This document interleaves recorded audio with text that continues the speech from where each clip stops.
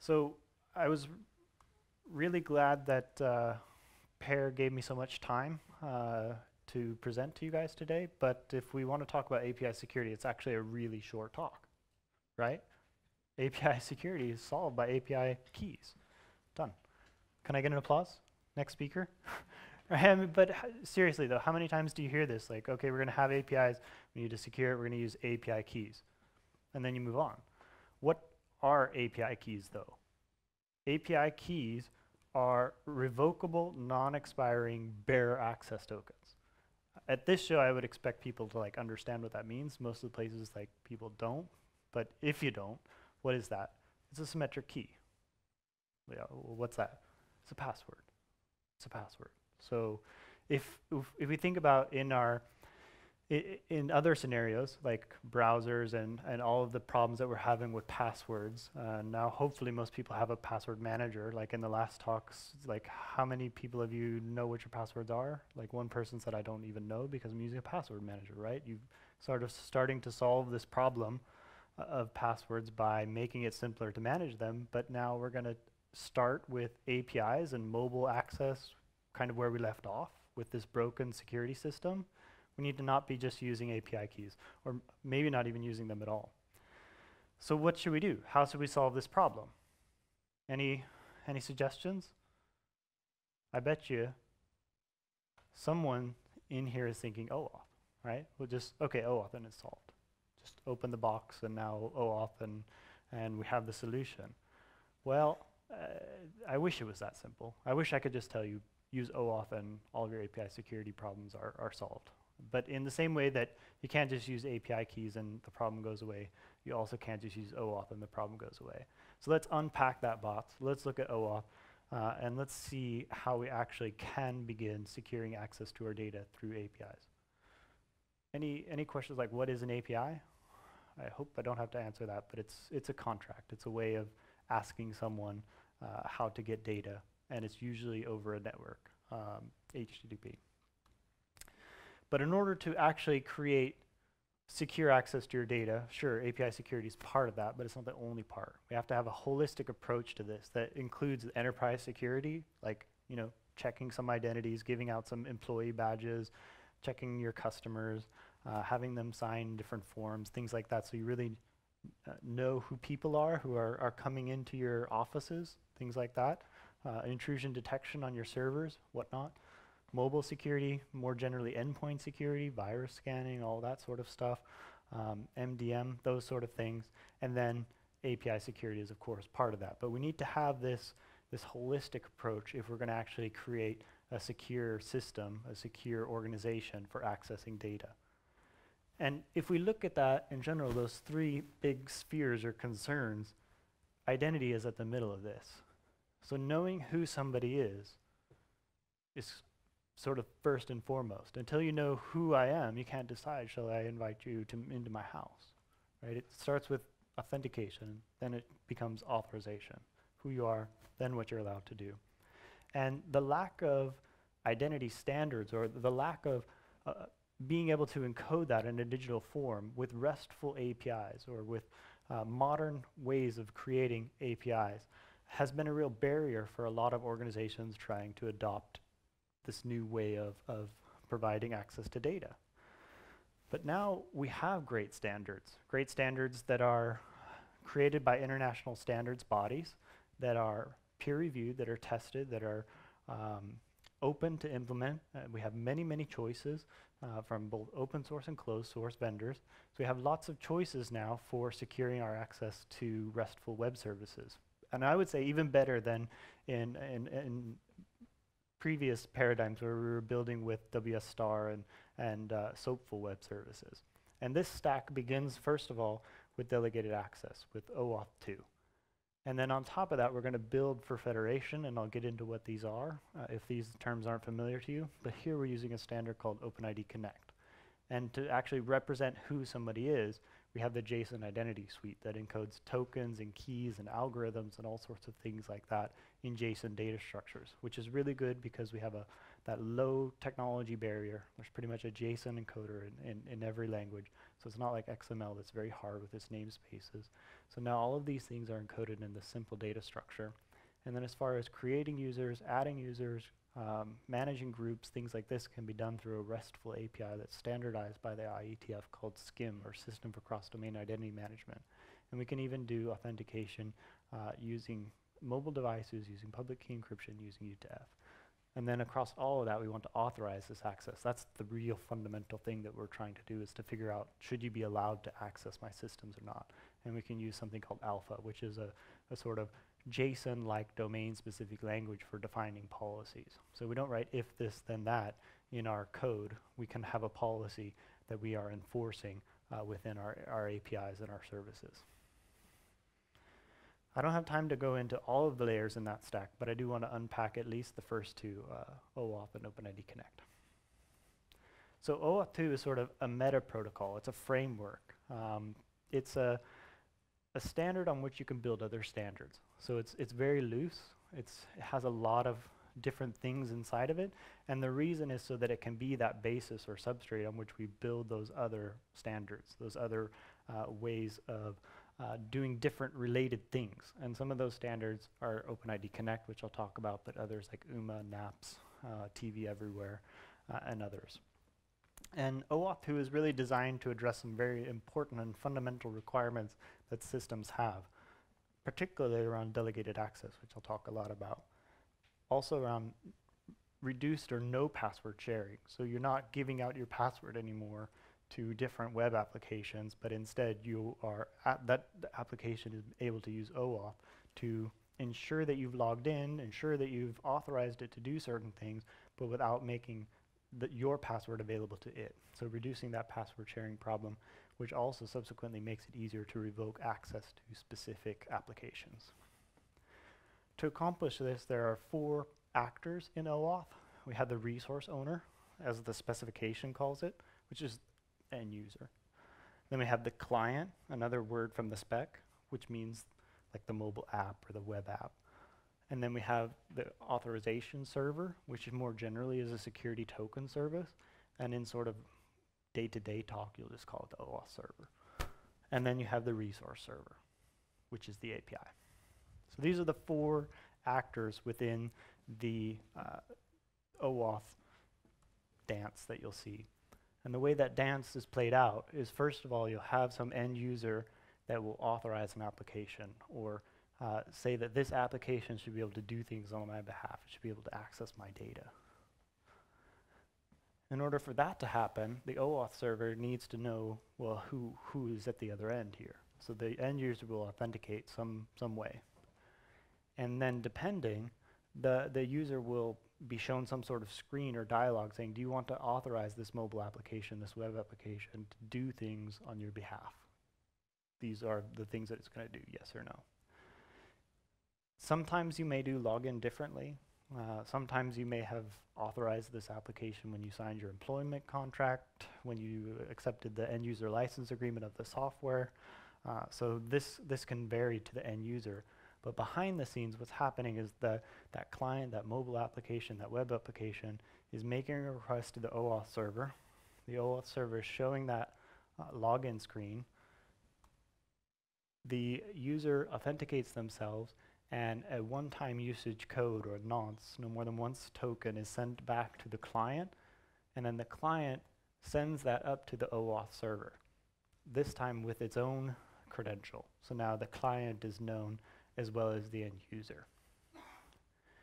That's the, then returning what's called an access token, and I'll get into that. That access token is used to call the API. Depending on the type of access token, that access token might need to be verified with the OAuth server, and then if it's valid and trusted, the data will be returned to the client. So this is one flow in OAuth. There are four, and like I said, it's a framework, so you can define others uh, in addition to those.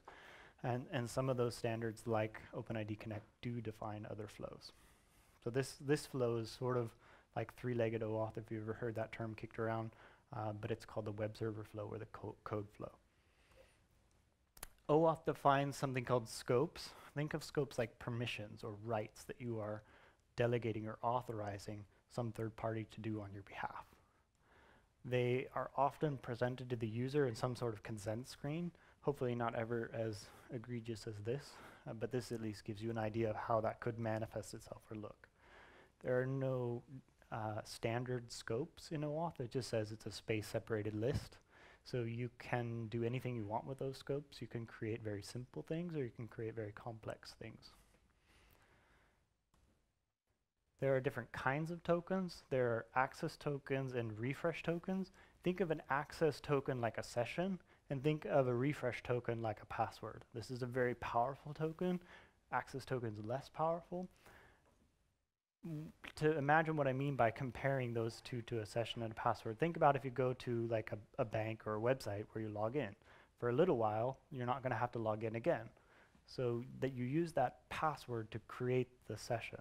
In the same way, when you go to the OAuth server, you can get an access token and start making API calls, but eventually this is going to expire.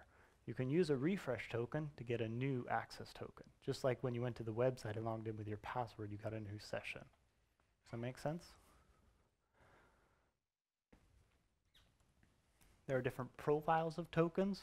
Primarily what you're going to deal with is bearer tokens, but there's also another, and that's holder of key tokens. If you're working in government or banking, you need to understand what this is. You need to understand the consequences of using this sort. Um, to help you think of uh, a bearer token like cash. If you find a 100 kroner note, 100 kroner uh, bill on the street after the conference, good for you. and then if you took that into the shop and tried to buy something with it, the, the clerk, the person at the store is not going to ask you, where did you get this? They're just going to take it and and let you buy your things with it. And the reason is because they trust the issuer, the government of Sweden, that it's a, a, a legitimate 100 kroner note. And so that you can use it. Doesn't matter that you found it on the street.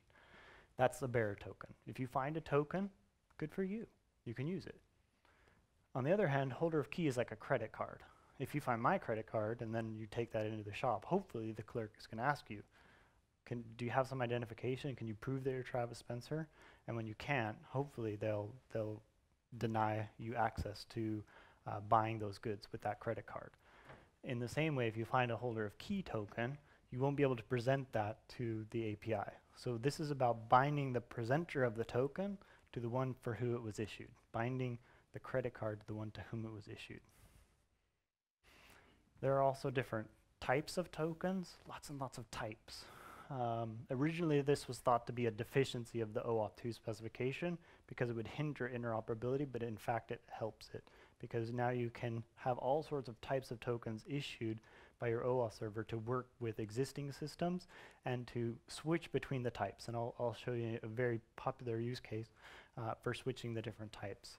Um, you could have WS security SAML tokens. You can even have customs, and actually this is the most common kind of uh, uh, type of token. And you can also have JWT tokens.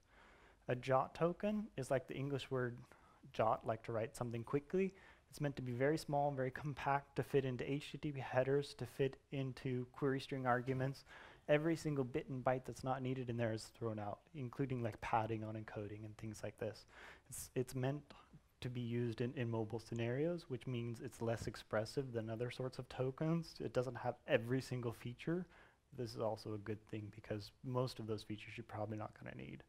And of course, it's encoded with SAML instead of XML.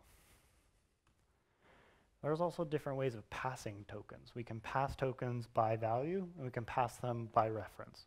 So the programmers in the room, I, I bet you probably got it already, but in case you didn't, what I mean by that is when you pass a, a token by value, all of the identity data is in the token. If you pass a token by reference, it's just some random string and it points to the actual data, the actual identity information about that token. Does that make sense? I'm going to get back to that in a little bit. So, remember I said OAuth, API security solved, right? Not really. And the reason is because OAuth is not for authentication. It, it's, it's not a full solution. It's not a panacea. It's also not for federation, and it's not for authorization. OAuth, auth, it's not for authentication or authorization. What's the auth part? Uh, it's, it's a misnomer. It should be called something else. It's really for delegation, and in particular, user to app delegation. So there's a lot of semantics, uh, but what I mean here is like, OAuth is about allowing someone else to do something on your behalf. It's not about authorizing you to do something. It's not saying that you, you will now be able to do something just because I say you should be able to. To understand that, think about if you're a business owner. You hire an assistant to help you manage the, the finances of the company. And you say to that assistant, like, okay, you can withdraw money out of, out of the, the company bank account. I, I am delegating that right, that scope, that permission to the assistant. Then the assistant walks down to the bank and tries to take money out of the corporate account. But the banker says, I'm sorry, you can't do that.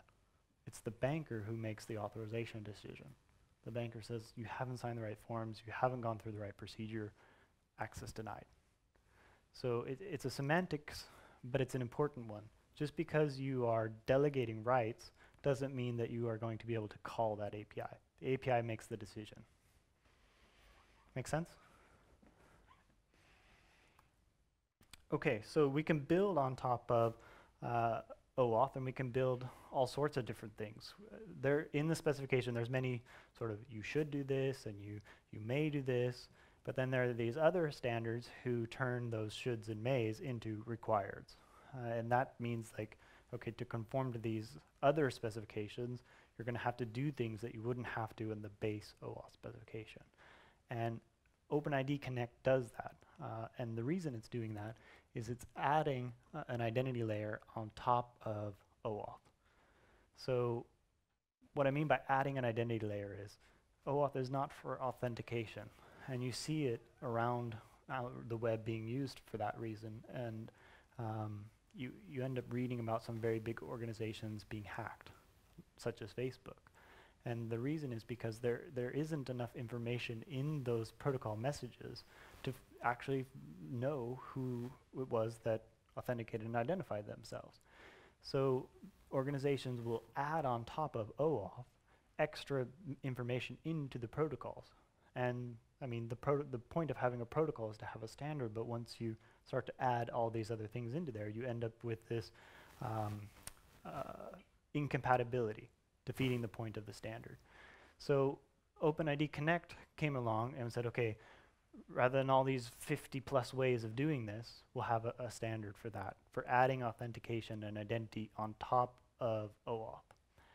And this is, anybody heard of OpenID? OpenID 2 is not the same as OpenID Connect. So you often hear about OpenID in the context of like commenting on blogs and things like that. OpenID Connect is more like SAML 2 actually, in that it has all of that same rigor, all that same security properties that something like SAML 2 or WS Federation has. And by being built on top of OAuth 2, you get you get a two for one. You deploy OpenID and you get all that authentication, all that identity stuff, plus now you get API security by, by using OAuth 2.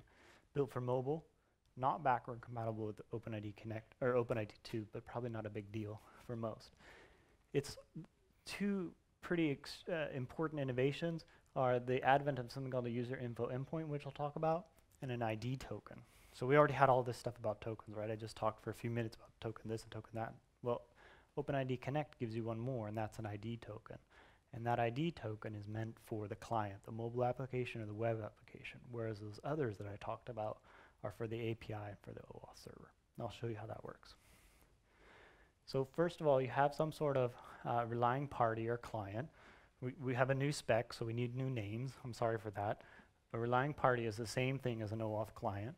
And that uh, relying party will send over a request to the OAuth server, which in OpenID Connect terminology uh, is called an OpenID provider. Um, but in this request, unlike the normal OAuth flow, it will send a scope that's defined by the standard called OpenID. And this clicks the OAuth server into OpenID Connect mode. So now the, the OAuth server uh, will authenticate the client like normal, however it wants to do that. The specification doesn't say, it just says it has to be done. And then the, the one-time usage code will come back uh, like normal. And then that code will be sent over to the OAuth server. And what's different now is that the, the response includes an access token and an ID token. So this access token is only meant to be used to call the API. The ID token is for the client. And the ID token tells who the user was. It could in include other information about the user, first name, last name, hair color, shoe size, and how they authenticated, what sort of credential, when they authenticated. If an SSO cookie was used and they actually logged in many, many weeks ago, you can now see this and start to make decisions in here. Should I call this API? Should I call that API? Should I show this tab? Should I not show that tab? You can't do those sort of things with just OAuth. And that's what everybody was trying to add on top of OAuth, and, and that's why you had all these various implementations um, that, that resulted in incompatibility and security issues.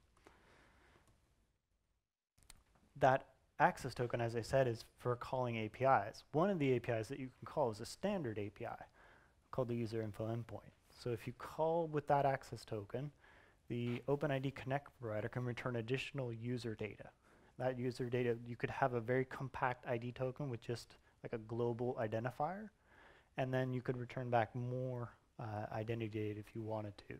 So maybe like the first time you log in, you need to bootstrap or create a new user account. For that, you need additional data. But after that, you only need the user ID to you know find that that stuff.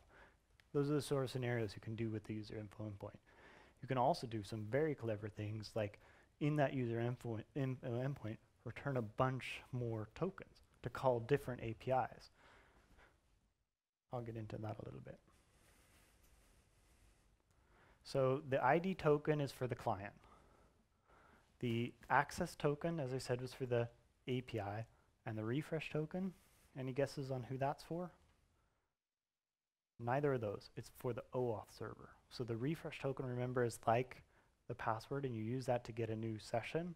Refresh token only presented to the OAuth server. ID token for the client. So you have sort of all four of these actors and at least three of them are getting their own specific token, and you need to keep it straight. Because imagine if you sent your, your password to the wrong person. That password now is, is, known. That's the, the danger of symmetric keys, and that's the danger uh, of uh, refresh tokens. That user info endpoint is a standard API that you can use, that you can count on from any op compliant OpenID provider to return at least certain biographical data, uh, like email, some basic profile data, uh, verified phone number, these sort of things are standardized claims. Uh, and then the, the subject or the global unique identifier of the user who authenticated. One thing I should back up here and say is that this flow that I just showed you was one of the flows in OpenID Connect. Remember in OAuth I said there were four.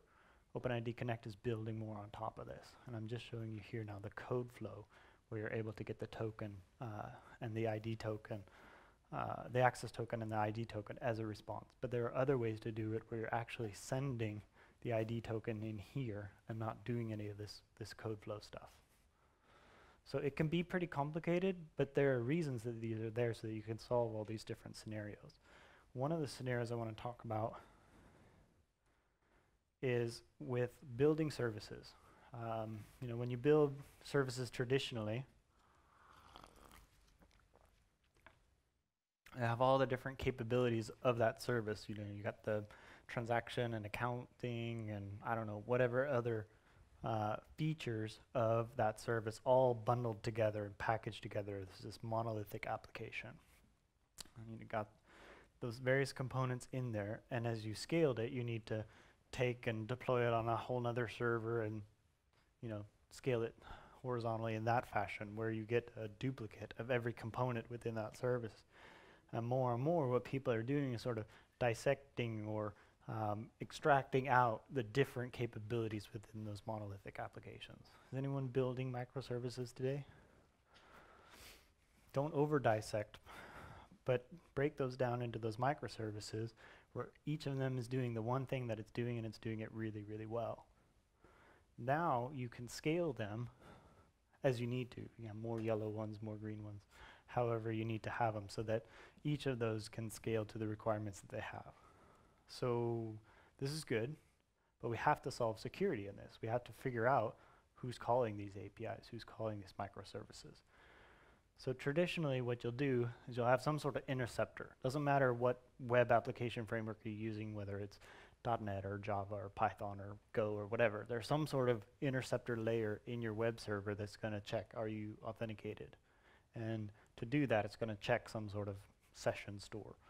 Um, now, and, and that, that's fine, that's how you did it. Now you have these microservices, and they're all going to have to check. And they all have this shared dependency, and that's what we don't want with microservices, right? They should all be independent of each other and not sharing databases, not sharing uh, those different components. Otherwise, they're not really a microservice. So how do you solve the identity problem? How do you solve the API access problem? OAuth can help with this. Remember what we talked about with the uh, different types of tokens? So the, the by value token has all of the identity data in it, and the reference token has just a pointer to the data. So let's use those two to solve this microservices problem and to make the securing of those better. So we want to have the, make sure that no information outside of the network uh, is in the token. So what we say is, uh, outside the network, once the token leaves your premises, switch it to a reference token and on the inside of your network, switch to a value token. Okay? So then what's happening here is that you have a reference token coming into your network, and then you have some sort of API firewall, reverse proxy, something like this, that will switch it to a by value token. So you do the token translation in the API firewall. So we have two problems with the microservices where we need to identify the user and we need to create a session.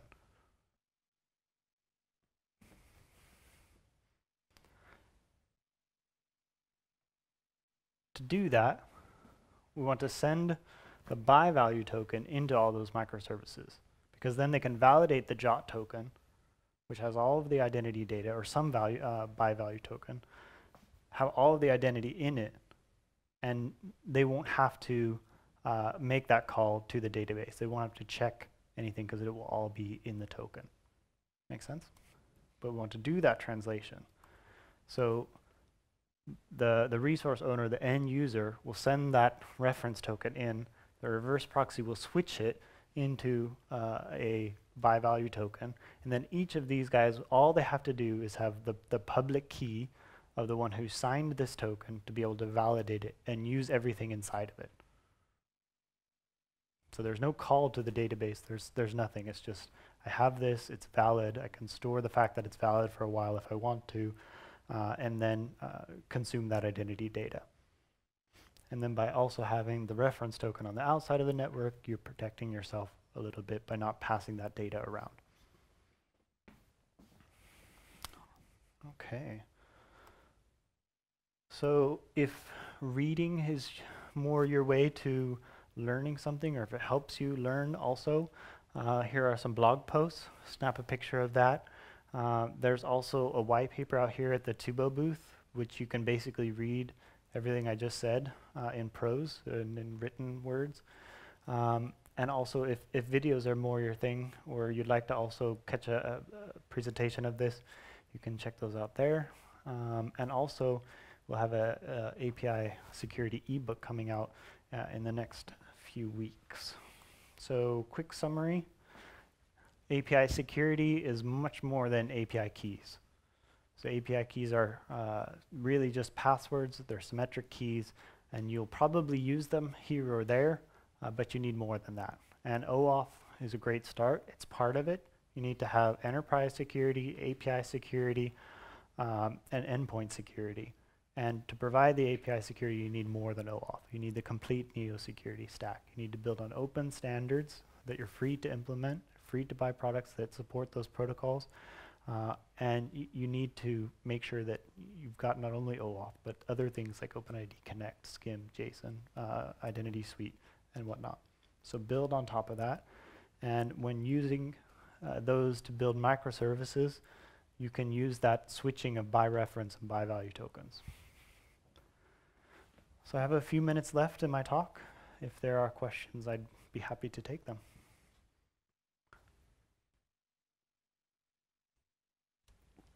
Otherwise, I'm going to get out that other slide deck.